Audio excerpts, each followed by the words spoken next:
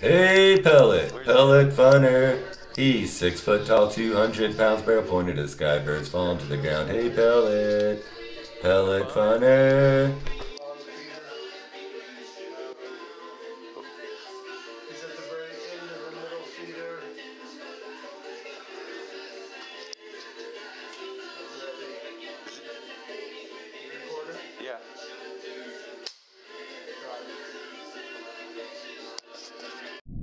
Hey folks, another video. It's like video day here up in Pellet Funner.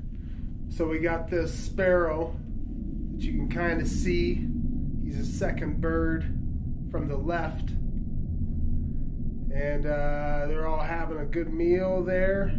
If you'll keep your eye on the finch right to his right,